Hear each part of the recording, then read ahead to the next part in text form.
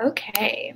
Um, hi, I'm Rachel Conner, and this is a series where I interview students in the College of Arts and Sciences about their internships. Uh, so today's intern is Katherine. Hi, Katherine. Thank you so much for joining me. Hi, Rachel. Thank you. Um, so, do you want to start by introducing yourself, your major, your minor, where you're from?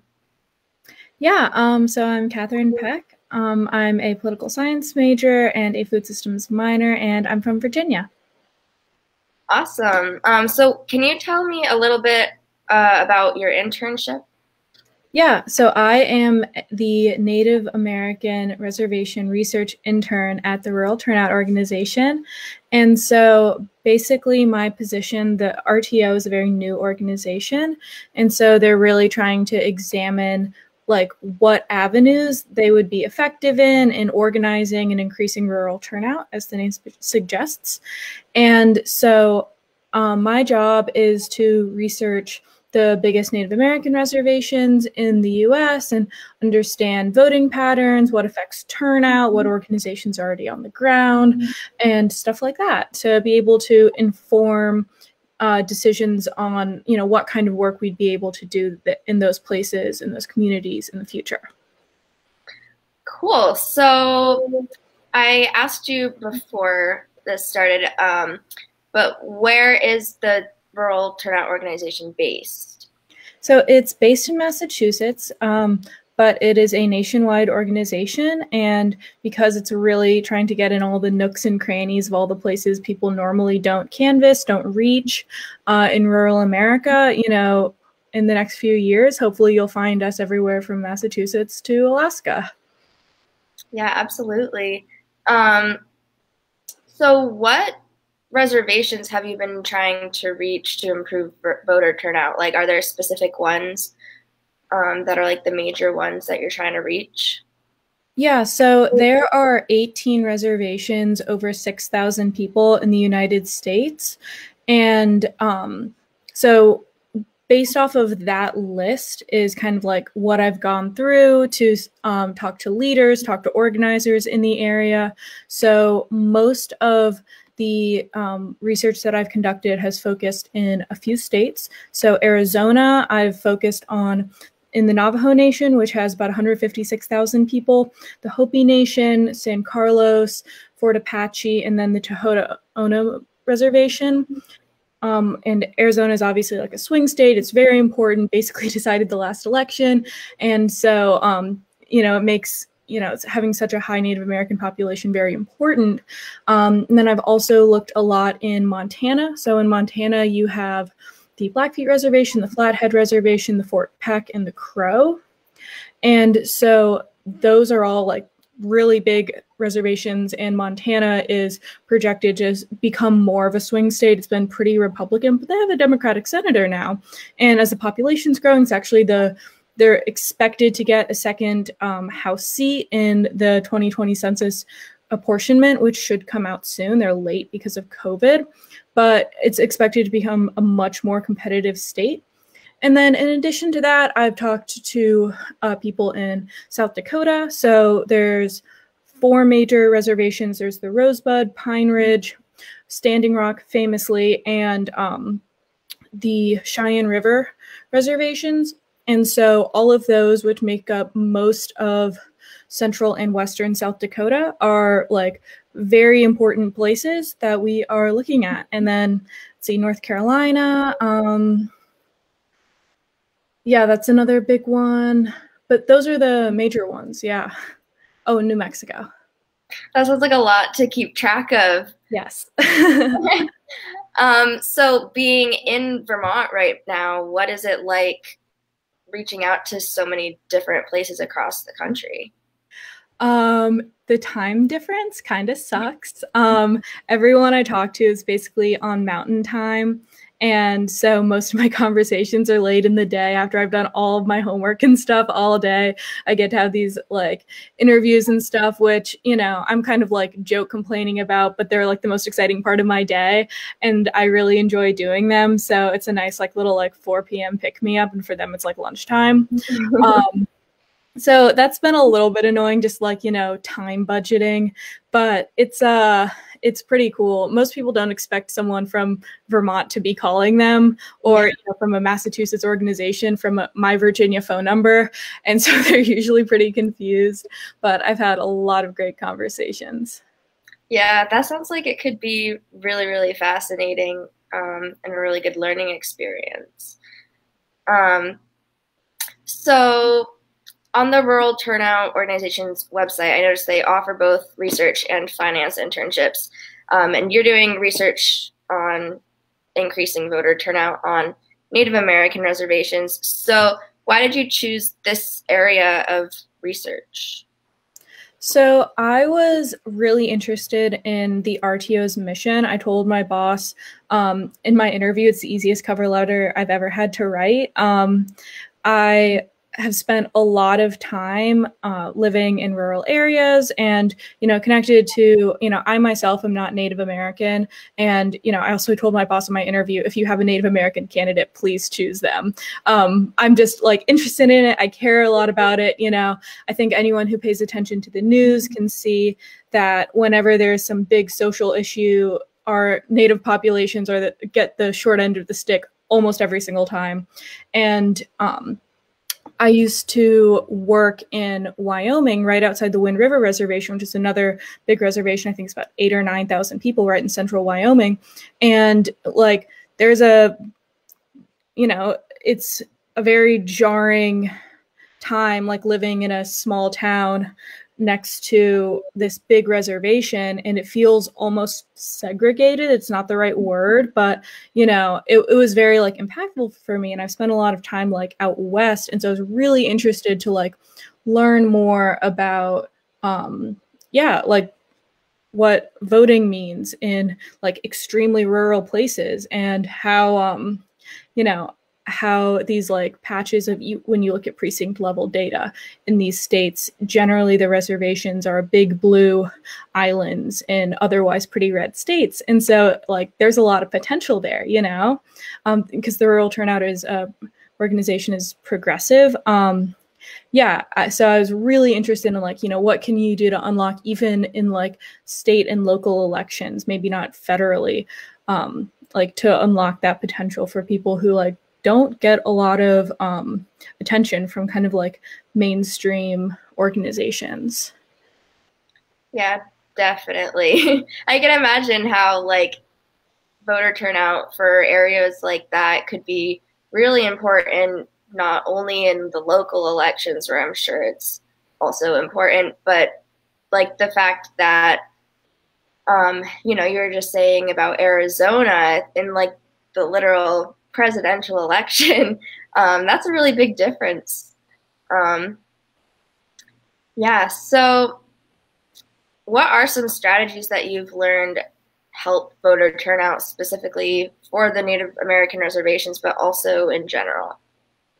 So, um, in the with the activists who I've talked to, the organizers in these areas, that's like the central question I ask them because we want to make sure that the tools that the RTO can bring to the table are ones that are needed, that are helpful, you know, that are wanted.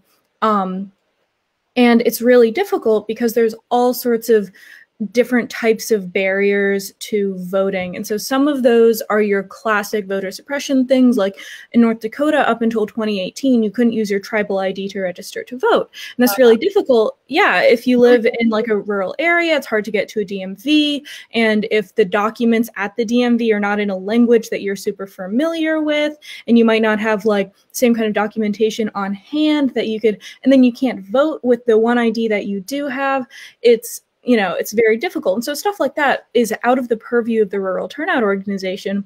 And one thing that was very difficult in doing these interviews was realizing like there's a lot of things that we're not equipped to handle. You know, that was a suit that the ACLU ended up bringing against the state of North Dakota. And it's great for a big organization that does litigation to be able to do that. But, you know, like we can't do that. You know, we want to go door to door. We want to like try to get people to register. We want to like you know help get people to the polls. Um, we can't at this time at the organization um, make this like huge effort on like these judicial fronts you know? Um, so there's a bunch of issues like that um, that are like very voter suppression. You know, same thing, gerrymandering. So another big thing is like even if you can vote, like if your vote doesn't mean anything because of the way your districts are drawn, like that's a, an issue in and of itself. But the on the ground organizing issues that we come across. Um, one of the big things is mailbox access. A lot of people do not have a post office near their house and they don't have a physical address. Well, they have a physical place they live, but not an address. You know, a lot of folks will, you know, describe the place that they live. They'll be like, oh, I'm the third house on the left after the, you know, 283 mile marker on the highway. And like, you just can't write that on a, a uh, voter registration form. And mm-hmm. so, and that's another one of those things where it's like, you know, the Rural Utah Project actually does a great job of trying to get addresses that you can register with in uh, Utah and Arizona and the Navajo and Hopi nations. But it's something out of our purview now. But even if you do have an address, a lot of post offices or mail carriers don't deliver. So you have to go to the post office. But if your post office is 50 miles away, you're only going to go maybe a couple times a month. If that, you might share a post office or a PO box with, you know, several families. And there's like slow turnaround on sending in documents. And um, there is this issue in South Dakota. I was talking to OJ Semans at Four Directions, which is one of the biggest um, Native American turnout organizations. He was saying that one of the biggest issues is people have difficulty filling in their voter registration forms properly, especially if the registration forms are not are only in English. And then they're supposed to uh, send you a letter to say, hey, you filled this out wrong. You know, you have until this time to change it. But it's like if that if you have a month delay getting that letter and then being able to send it back, you know, it's it makes voting very difficult. And so, you know, in COVID, you had all these issues with absentee ballots, and everyone was really pushing absentee ballots. But for people living in like extremely rural areas, you know, I think a lot of us East Coasters don't realize how rural a lot of these areas are, you know, people whose houses are miles and miles and miles apart, you know. And yeah, so there's this big push for all these absentee ballots because of COVID. And then that just compounded this issue. And then with in person voting, getting to a polling location, having enough polling locations in an area is difficult in and of itself. And a lot of mm-hmm. locations, you know, you'll hear a lot about ballot pickup and drop off services. So, you know, going from house to house, picking up the ballots.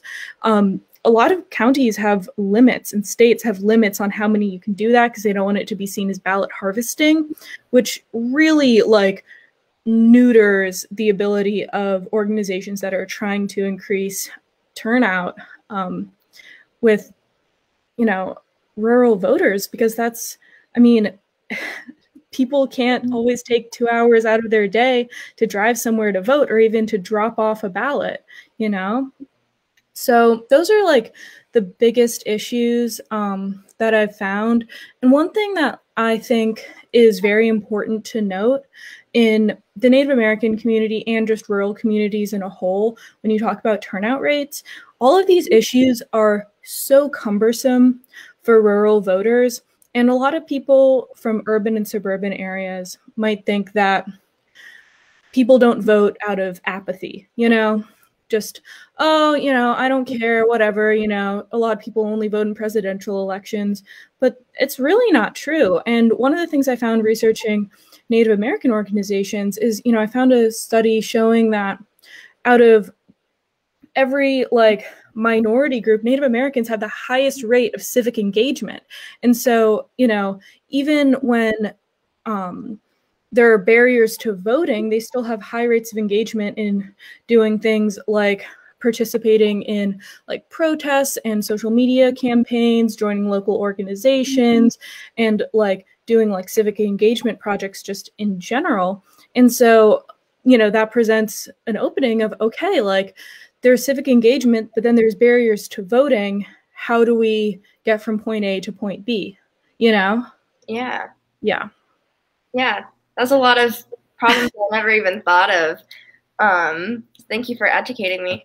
Um, so you seem very, very passionate. How did you get into this subject area and like just political science in general? Um, yeah. Uh, so I've always been a political science major. I came into uh, college as one, and I still am one today. Um, I guess, like, I don't know. I grew up in Virginia, and so DC is a huge influence in Virginia. Um, I interned on Capitol Hill when I was in high school, actually, and that was really cool. That was really impactful.